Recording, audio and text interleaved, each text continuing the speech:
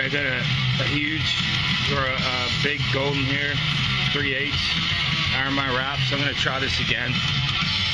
I tried this a couple days ago and uh, messed my finger up.